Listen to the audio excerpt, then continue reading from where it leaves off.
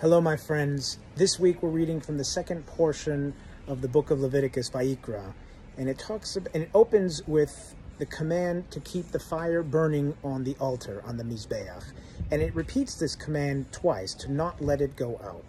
And we have an axiom in our tradition with the commentators that when something is repeated in the Bible, in the Tanakh, it means to tell us something very important. And we also understand that there is no words in the Bible that are superfluous. So what is it that it is trying to teach us?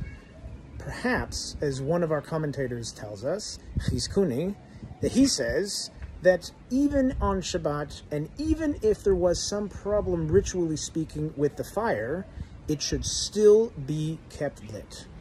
Now, I think in our lives today, there are many things that could potentially interrupt all the rituals and all the things that we have coming with us forward with Pesach, with Shabbat, the normal everyday life of our Jewish cycle.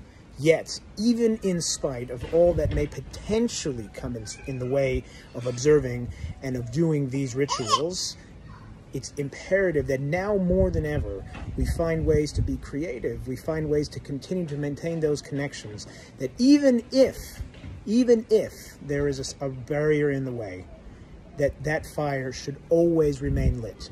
That fire should always continually be guiding us, inspiring us, and making sure that we stay connected. The Mizbeach was one of the central parts of the worship service, the thing that took that brought the entire Jewish people together. So may it be today that we do not have an altar to keep lit, but we have that spiritual fire that we must keep all together so that we may continue to live our lives in fulfillment, in safety and health, but also most importantly, with connection.